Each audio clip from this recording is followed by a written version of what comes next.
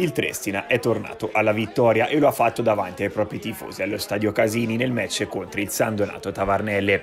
Due autentiche perle di Belli e Bucci hanno deciso la partita. Un successo, il primo del 2024, che ha consentito ai bianconeri di Ciampelli di salire all'ottavo posto della classifica a quota 33 punti. Sono rimasti invece fermi a 30 i giallo-blu di Collacchioni incappati nel quarto KO esterno consecutivo. La gara fatica a decollare e i primi minuti sono molto tattici ma poveri di emozioni. Al ventisettesimo però Fiorenza combina la frittata non trattenendo la punizione apparentemente innocua di Bellini, ma Chiti decide di graziare il Trestina e da pochi centimetri calcia sulla traversa.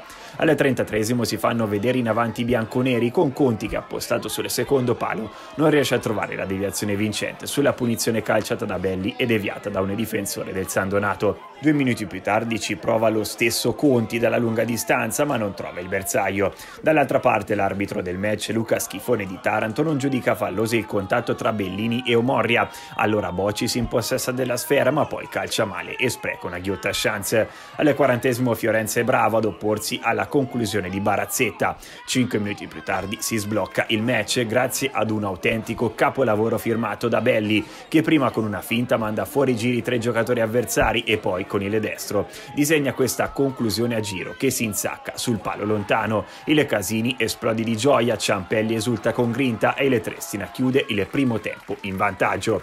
I bianconeri rientrano in campo con il piglio giusto e dopo soli 120 secondi dall'inizio della ripresa colpiscono ancora. Tascini sventaglia per Belli che poi favorisce l'inserimento di Bucci. Il numero 3, fresco di gol all'Inter e di convocazione per il torneo di Viareggio, fa partire questo bolide mancino che si infila sotto la traversa e non lascia scampo a Manzari. Il San Donato accusa il colpo e due minuti più tardi il numero 1 ospite deve distendersi in tuffo per respingere il destro di Belli. Collacchioni corre ai ripari e manda in campo Oitana e Petronelli al posto di Bocci e Neri ed è proprio il numero 20, un minuto dopo essere entrato nel rettangolo verde, ad avere la chance per riaprire la partita, ma Fiorenza si fa perdonare l'errore del primo tempo e salva i suoi con un doppio intervento di piede. A questo punto la partita scorre via senza sussulti con un Trestina molto attento che contiene bene i tentativi del San Donato Tavarnelle. Gli ospiti si riaffacciano dalle parti di Fiorenza soltanto al 91 quando Chiti non riesce a deviare in rete la punizione di Bellini. Tre minuti più tardi, dopo la punizione alta dello stesso numero 10, arriva il triplice fischio dell'arbitro. Allo stadio Casini finisce così: Trestina 2, San Donato Tavarnelle 0. Davide Ciampelli la possiamo definire una vittoria di qualità perché Belli e Bucci hanno fatto veramente due grandissimi gol.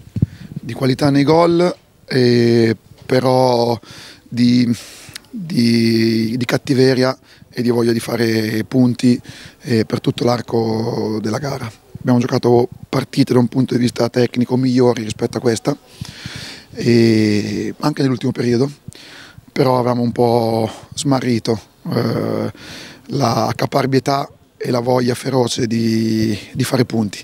E in Serie D per fare punti devi essere così, al cospetto di una squadra che nell'arco della prima frazione di gioco ci ha messo in difficoltà, poi le partite sono fatte di momenti, di episodi e il gol di Lorenzo chiaramente ha, ha dato un indirizzo importante alla ripresa, siamo stati bravissimi a rientrare in campo, questa volta sì cattivi, attenti eh, rispetto alle ultime volte che si aveva visto un pochino meno sotto questo aspetto, a chiuderla e poi quando c'è da soffrire bisogna soffrire con tutto quello che abbiamo in questo momento, sapendo che dobbiamo attingere a tutto quello che abbiamo nella nostra rosa, compresi i ragazzi di 2006 che hanno chiuso la gara.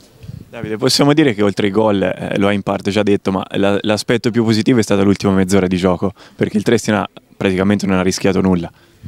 Eh, per me è la terza stagione che ha questo, questo andamento, per me, per Riccardo, che anche a Porto Lasco abbiamo vissuto due giorni d'andata eh, molto importanti, poi si sa che in Serie D il pesce grande piano piano va sempre a mangiare il pesce piccolo. E piano piano eh, si tende un po' a perdere quella voglia di, di, di fare punti tutte le domeniche a maggior ragione quando c'è una squadra giovane come questa.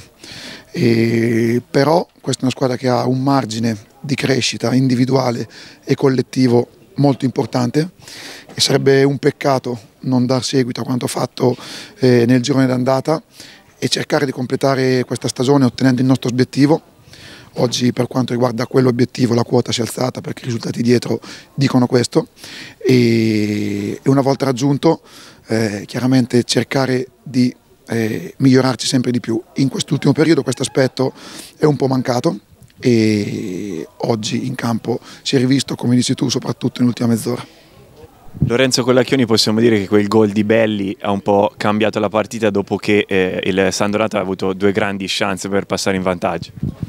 Sì, forse anche più di due secondo me perché non esiste portare primo tempo sullo 0-0, meritavamo e dovevamo sicuramente sbloccare la partita nell'occasione che abbiamo creato, poi c'è stato l'episodio che non deve accadere all'ultimo secondo del primo tempo ma siccome accade poi bisognava rientrare subito con, eh, con, il piglio per recuperare la partita.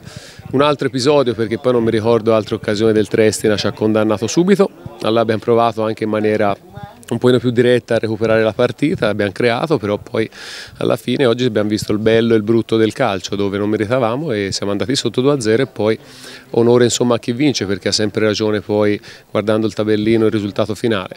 C'è rammarico, rammarico anche per qualche episodio perché secondo me c'era un rigore nostro sul 2-0 e comunque secondo me con un episodio la potevamo riaprire e recuperare, ci abbiamo provato, così non è andata perciò bisogna andare avanti.